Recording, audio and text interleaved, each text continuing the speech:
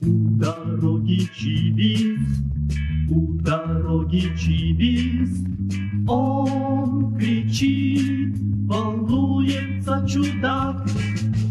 А скажите, чивы, а скажите, чивы, и зачем? Всем привет! Давайте поговорим о пигалице или чибисе, по латыни ванилиус ванилиус, небольшой птицы семейства ржанковых. Я чивец, крупный черно-белый кулик с короткими ногами и клювом. Самый коротконогий из чибисов. Размер с галку. Длина тела примерно 30 см, масса от 120 до 330 грамм, размах крыльев 82-87 см. На затылке длинный узкий хохол. Верх черный, с бронзово-зеленым и фиолетовым отливом. Низ Белый с черной манишкой, подхвостье рыжие, бока головы за шеек белые, есть черная лицевая маска. Клюв у радужина темный, ноги розоватые. К осени светлеет горло, на голове появляется охристый налет. На свежих темных пятнах развиты узкие светлые каемки. Крылья очень широкие, их испод черно-белый, вершины почти квадратные. Из-за этого чибис почти безошибочно узнаваем в полете. Взмахи крыльев редкие и неторопливые, характерен воздушный ток с пируэтами и громкими скрипучими мяукающими криками «чибы» или «чивы», более сложными, за которые Кулика получил свое звукоподражательное название. Чивис легко узнается по узкому холку на голове, а в полете по широким округлым крыльям с черными концами, надоедливому крику. Пигелисы распространена от Атлантического до Тихого океана к югу от полярного круга. Большей части ареала птица перелетная. В Западной Европе зона оседлости начинается с южного побережья Балтийского моря. Прилетают первые чибисы в то время, когда на полях сохраняется снежный покров и только появляются первые проталины. Поэтому ухудшение погоды нередко заставляет их временно откачевывать более южные районы.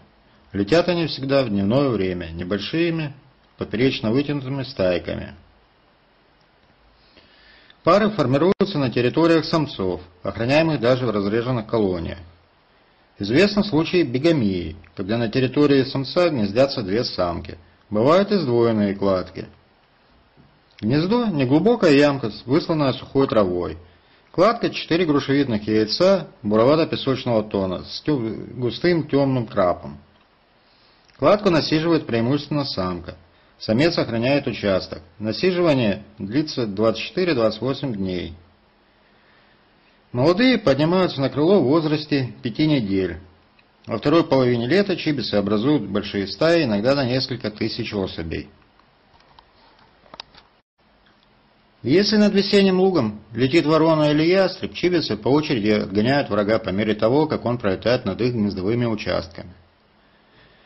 Подросшие выводки, как уже сказано выше, соединяются в стайки, держатся по берегам речек и прудов, потом соединяются в большие стаи, перекочевывая на обширные болота, луга и степные пространства, а затем и в обширные речные долины.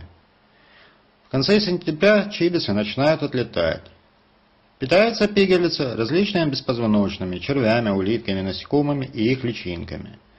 В настоящее время в большинстве районов Евразии чибис – обычный вид – за сотни лет обитания в агроландшафте птицы приспособились к соседству с человеком, домашними животными. Парадоксально, но уменьшение сельскохозяйственного пресса на природу сказалось на численности вида негативно. Сейчас чебисов стало меньше. Что, теперь интересные факты об этой замечательной птице. Внезапное похолодание зачастую заставляет птиц лететь обратно на юг. Чибисы преодолевают огромные расстояния для того, чтобы через несколько дней, когда потеплеет, вернуться обратно. Ну, Чибис известен в литературе, многие писатели посвящали ему свои стихи и песни. Вот, а также известный русский писатель Михаил Пришин написал про Чибиса одноименный рассказ. Союз охраны птиц России выбрал эту птицу птицей 2010 года. В Древнем Риме пигалица, вероятно из-за своего тревожного крика, считалась зловещей птицей. В знаменитом сатириконе встречается поговорка «малам парам пил, пилавит», ощипал скверную цыгалицу, ну или пигалицу, что означало «не повезло, попал в неприятную ситуацию». В том случае, если молоднику грозит опасность со стороны хищников, стая птиц объединяется для того, чтобы дать отпор врагу и защитить свое потомство. Оказывается, чибисы по своей природе являются еще и собственными докторами. Когда у них появляются проблемы с кишечником, они сразу же находят нужное решение, приступают к лечению, а именно ставят себе клизму. В этом им помогает длинный клюв и очень гибкая шея. Именно так, набрав в клюв воды и загнув шею, эти птицы вводят себе в анальное отверстие в воду. Если нужно, то эту процедуру повторяют несколько раз. В период брачных ухаживаний самцы всячески стараются себя проявить, выделывая в воздухе акробатические фигуры, издавая призывные крики и характерные звуки перьями крыльев. Есть сообщение, что иногда самец подготавливает демонстрационные гнезда, привлекающие самок и стимулирующие их. Русское слово «пигалица» не одно такое. Англичане называют ее пивит, немцы, немцы кибец. На Украине она назовется либо киба, либо пигечка. Белорусы, ки, в Беларуси кигалка. Это так называемые звукоподражательные названия. Хозяйственное значение чибиса двоякое. Он приносит пользу, истребляя на полях вредных насекомых и их личинок. Также является объектом охоты. Охотятся на него осенью. В среднем чибисы живут 19 лет. Максимально зарегистрированный в Европе возраст 24 года и 6 месяцев.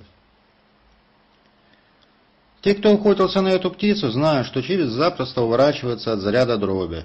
То есть видеть дров в полете, может просто свернуть с траектории выстрела.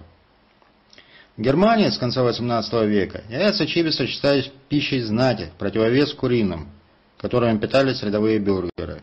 Канцлер Отто фон Бисмарк каждый год на свой день рождения, 1 апреля, получал 101 яйцо чибиса из города Евер в Нижней Саксонии. В первый год жизни погибает до 40% молоди трех-четырехдневном возрасте птенцы уже быстро бегают и могут плавать.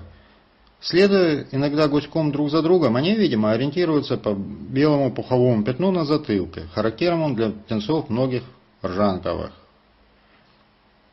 Ну что, на сегодня все. Надеюсь, было интересно. Подписываемся, комментируем, делимся этим видео. До новых встреч.